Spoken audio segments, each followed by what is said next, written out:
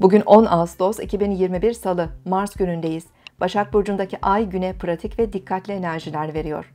Erken saatlerde Ay, Başak Burcu'ndaki Mars'la kavuşacak. Güne başlarken motivasyon ve enerjimiz yüksek olabilir. Sonuç almaya ve işleri bitirmeye odaklanabiliriz. Dürtüsel ve sabırsız olmak yerine pratik ve soğukkanlı davranmak daha yararlı olacaktır. Sabah saatlerinde Başak Burcu'ndaki Ay ile Kova Burcu'ndaki Satürn arasındaki gerilimli açı, duygusal memnuniyetsizlikler de yaratabilir. Duygularımızı bastırmak zararlı olacağından daha spontane ve rahat davranmaya çalışalım. Öğleden sonraki saatlerde Başak Burcu'ndaki Ay, Boğa Burcu'ndaki Uranüs'te üçgen açı yapacak.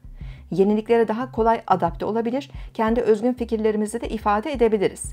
Yaratıcı ve orijinal fikirler günlük işlerimizde pratik çözümler ve hızlı gelişmelere de imkan verebilir.